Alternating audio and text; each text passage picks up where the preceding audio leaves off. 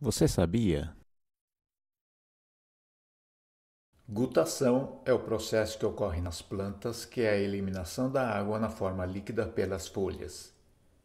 Isto ocorre porque as raízes absorvem a água com nutrientes minerais constantemente por diferença de concentrações de solutos nas células e no meio externo, e por meio que requer gastos de energia.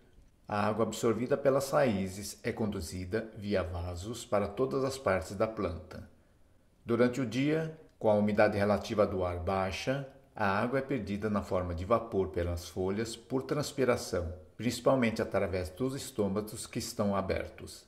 À noite, a transpiração é praticamente ausente, pois os estômatos estão fechados e quando a umidade relativa do ar é alta, especialmente ao final da noite e início da manhã, esta água é eliminada pelas folhas na forma líquida, por meio de uma estrutura chamada hidatódio.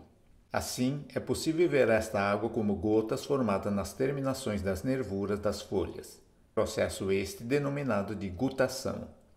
Diferentemente do orvalho, que é a condensação do vapor de água da atmosfera sobre a folha, esta gota formada é a eliminação da água contida na planta.